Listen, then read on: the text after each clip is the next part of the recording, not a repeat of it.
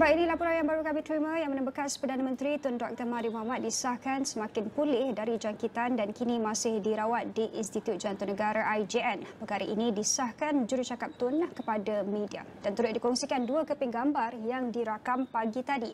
Dan kami akan bawakan perkembangan terkini keadaan kesihatan Tun Dr. Mahathir dalam Buletin Awani selepas ini.